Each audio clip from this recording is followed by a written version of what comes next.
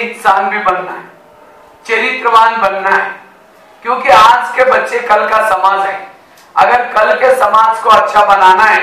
तो वर्तमान के बच्चों को मूल्य सीखने की ज़रूरत है, नैतिकता सीखने की ज़रूरत है, क्योंकि मूल्यों से सहनशीलता, धैर्यता, ईमानदारी, सत्यता, इस गुणों से व्यवहार में बदलाव आता है। उसके बजाय चोरी करना बड़ों को नहीं पूछना, गुस्सा करना, अभिमान में रहना, इससे हमारा चरित्र बिगड़ जाता है,